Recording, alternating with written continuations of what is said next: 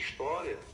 Compreende? É isso que me seduz, é isso que me deixa cheio de vontade aí de, de derrotar o atraso. É pra valer e tá confirmado.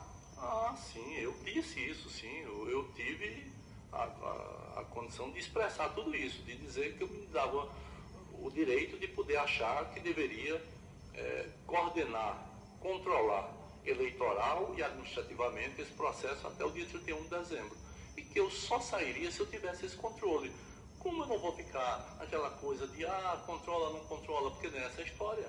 E eu também não dependo de cargo para viver, né? eu prefiro estar aqui presente, contribuindo com os meus companheiros todos, organizando a vida dos prefeitos. Tem mais dois anos aí de Vai sair um girassol puro sangue então, né?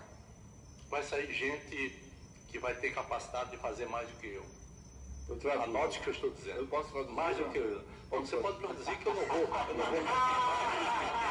aí, aí é uma coisa que eu não posso.